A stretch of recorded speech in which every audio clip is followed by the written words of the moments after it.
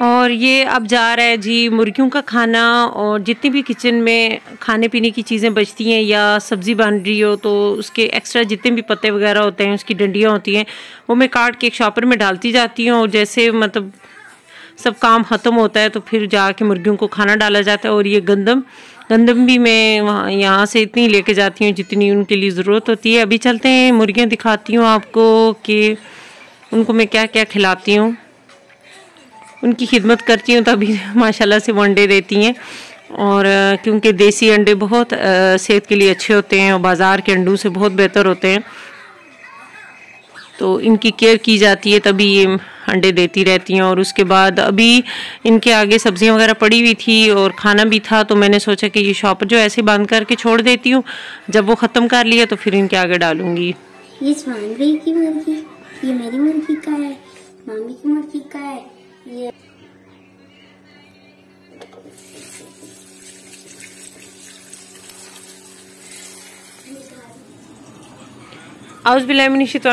बिस्मिल्लाहिर्रहमानिर्रहीम। अस्सलाम वालेकुम कैसे हैं जी आप सब लोग? आई होप आप लोग सब ठीक होंगे, खुश होंगे, मज़े में होंगे। तो अल्हम्दुलिल्लाह जी, मैं भी बिल्कुल ठीक हूँ। तो सुबह उठते साथ ही जो है सुबह सुबह घर के काम सारे शुरू हो जाते हैं। तो मेरी छुट्टी थी आज। तो मैंने सोचा कि मैं किचन में जितने भी कुकिंग वाले काम है, सारे कर लूँ, ये सब्ज़ी हरे पत्तों वाली है। तो मैंने सोचा कि इसको बॉईल करके जो है ना, मैंने फ्रीज़ कर देना है। काफ़ी ज़्यादा जो है ये ले आए थे हस्बैंड तो इसको मैं जो है बॉईल करके फ्रीज़ कर दूँगी। और साथ ही यहाँ पे स्पेशली डिमांड हुई थी सब्ज़ी, आलू वाली सब्ज़ी सारिम के लिए, क्योंकि दोनों, बाकी दोनों बड़े बच्चे जो हैं, आलू की सब्ज़ी इतनी ज़्यादा पसंद नहीं करते। तो सारिम को हर चीज़ में आलू चाहिए होते हैं तो ये स्पेशली सारिम के लिए सब्ज़ी बन रही है। तो उसको आलू बहुत ज़्यादा पसंद है तो बिल्कुल सिंपल सी है। इसमें कोई मैंने इतने मसाले वगैरह नहीं ऐड किए और उसके बाद तो साथ ही मेरी अपनी कुकिंग भी शुरू होगी। मैंने सोचा कि मैं खाना भी बना के जो है रख देती हूँ।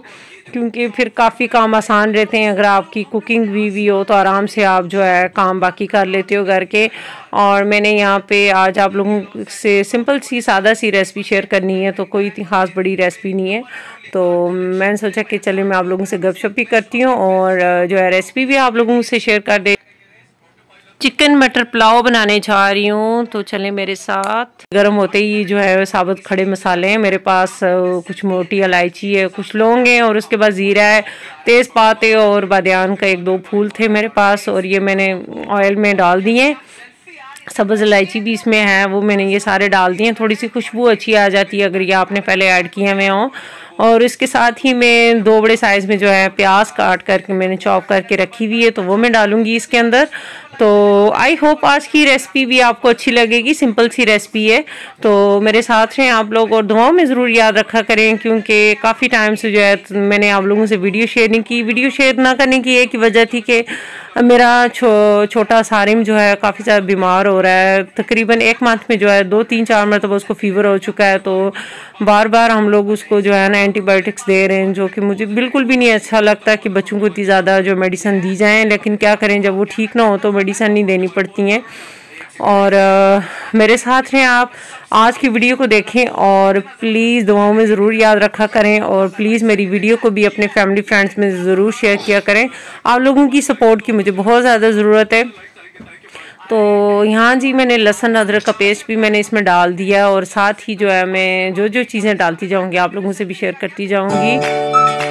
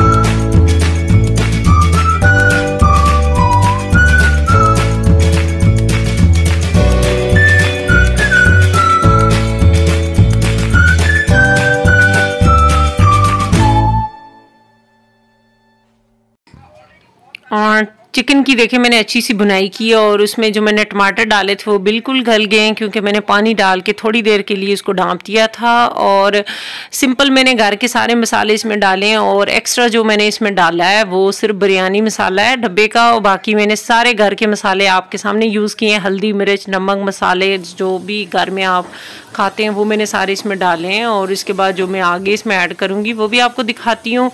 बस ये मेरी अपनी रेसिपी है, मेरी अपनी ईजाद की भी रेसिपी है और ये देखें, इसमें मैंने मटर भी डाल दिए हैं।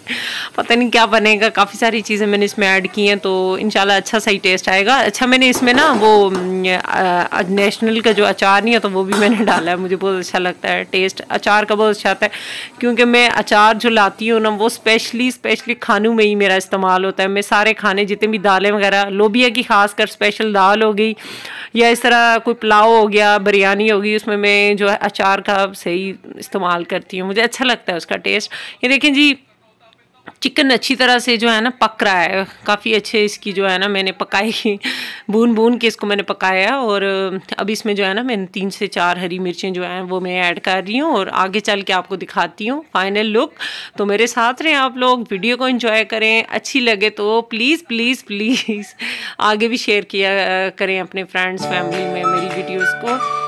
तो देखें आप लोग आज की रेसिपी